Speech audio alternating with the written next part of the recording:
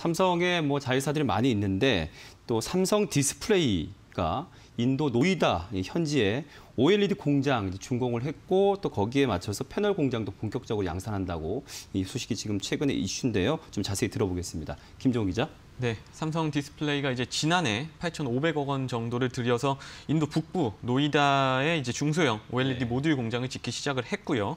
지난해 말부터 이제 공장 설비 등을 반, 반입하는 이제 setup 작업에 돌입을 했고 이달 초부터는 실제 부품을 조금씩 생산하는 ramp-up 작업을 진행하고 있는 게 확인이 됐습니다. 공장을 그러니까 본격적으로 준공하고 생산에 돌입했다는 건데요.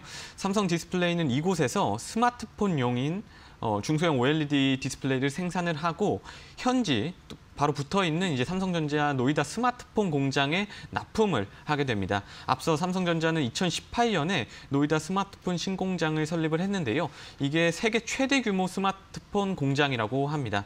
아무래도 현지에서 이제 삼성 디스플레이가 삼성전자의 삼성전자 공장에 부품을 공급한다면 삼성전자가 스마트폰을 생산하는 데 있어서 가격적인 측면에서 큰 도움이 될 것 같습니다. 또 수입 절차라든지 이런 납품 기한도 크게 줄일 수 있기 때문에 인도 스마트폰 시장을 더 효율적으로 공략할 수 있을 것으로 지금 분석이 되고 있습니다. 네. 지금 현재 인도 시장에서 그 스마트폰 시장 점유율을 보니까 1등이 샤오미인데 우리 삼성이 그래도 큰 차이는 뭐 나타나진 않는 것 같아요. 한 2위권 지금 달리고 있어요. 우리 우리 그 삼성전자 스마트폰 경쟁력 좀 체크해 볼까요? 네, 스마트폰 사업에서 인도 시장이 얼마나 중요한지는 사실 말씀을 안 드려도 아실 것 같아요. 네. 인구가 14억에 달하기 그렇죠. 때문에 중국 다음. 다음으로 네. 굉장히 가장 큰 시장이고요.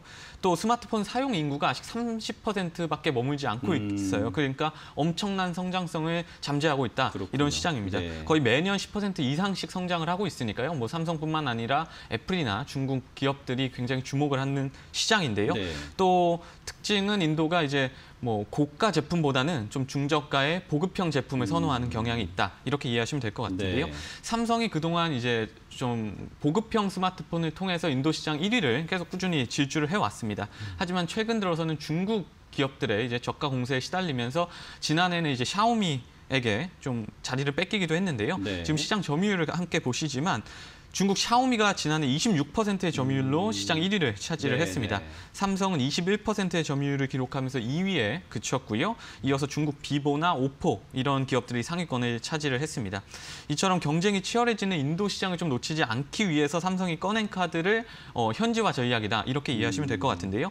스마트폰 관련 공장을 뭐 전부 다 인도로 보내서 가격 경쟁력 부터 이제 수요 대응 그리고 사후 서비스까지도 경쟁 우위를 점하겠다 이런 전략입니다. 앞서 말씀드렸지만 이제 어, 삼성전자는 인도에 세계 최대 스마트폰 공장을 지었고 삼성 디스플레이가 이제 OLED 공장을 지어서 이제 납품을 시작을 했고요. 여기에 삼성 SDI도 현재 배터리팩 조립 라인을 건설하기도 했거든요. 그러니까 스마트폰 부품부터 완제품까지 모두 양산할 수 있는 뭐 생산 체계를 갖추게 된 셈입니다.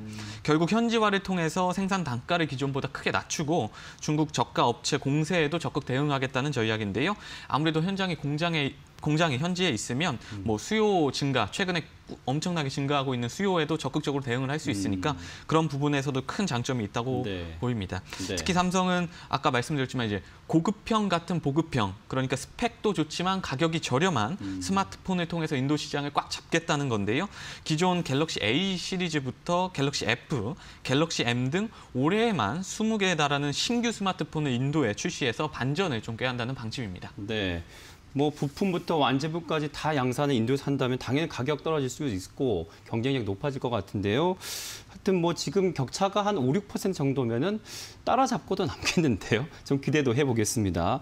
자, 그리고 한 가지가 이제 LG전자가 스마트폰을 이제 철수를 하게 됐는데 이 삼성전자가 그렇다면 국내는 물론이고 해외에서도 반사이익을 또 기대해 볼 수 있지 않까, 않을까요? 네. 네, 저희가 사실 LG 스마트폰 사업 철수 이후에 이 소식도 여러 번 전해, 전해드렸 었는데 그렇죠. 조금 더 안으로 들어가서 네. 말씀을 드리려고 오늘도 가져왔습니다.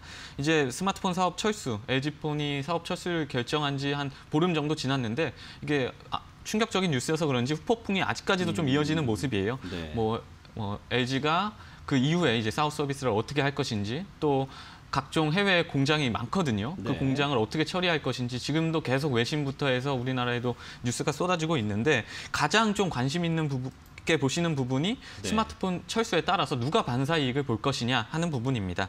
지난해 글로벌 스마트폰 시장 점유율을 보면 LG가 2% 점유율로 9위에 올랐습니다. 한 2,470만 대 정도를 전 세계에서 팔았는데요. 이게 사실 적지 않은 수치거든요. 네. 삼성이 1위인데 2억 5천 570만 대, 점유율 19% 정도였고요. 애플이 2억 110만 대, 점유율 15%로 2위였으니까요. 하지만 LG가 스마트폰 사업을 철수를 하면서 이제 그 빈자리를 다른 업체들이 채우게 됐는데 LG폰 사용자가 대부분 보급형 제품을 사용했다는 점을 고려할 때 점유율이 삼성이나 중국 화웨이, 샤오미 등으로 이동할 것이라는 분석이 좀 꾸준히 나오고 있습니다. 특히 앞서 말씀드렸지만 이제 인도에서 역시도 아시아 시장 인도와 같은 아시아 시장에서 이런 변화가 좀 일 것 같고요. 국내 시장을 초점을 맞춰서 좀 보자, 보다, 보자면 역시 애플보다는 아이 뭐 LG폰과 같은 운영 체제를 사용하는 삼성폰으로 좀 이동을 할 것이라는 분석이 나옵니다. 이제 LG폰의 국내 점유율은 지난 2월 기준으로 한 10% 정도 되는데요. 삼성이 69%로 시장 1위입니다.